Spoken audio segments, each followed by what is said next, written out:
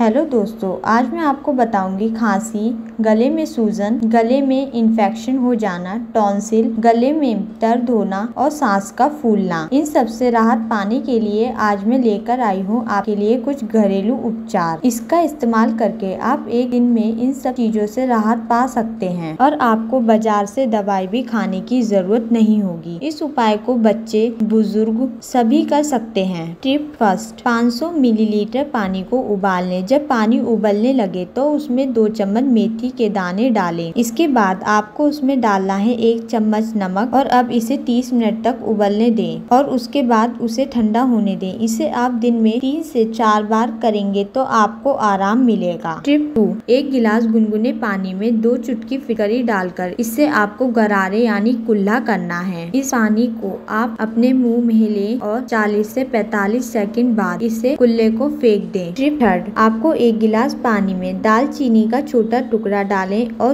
दो इंच अदरक घिस लें। इस पानी को आप गर्म करने के लिए रख दें। जब ये पानी ठंडा हो जाए तो फिर इसे चाय की तरह इसका सेवन करें। इससे आपको गले में आराम मिलेगा।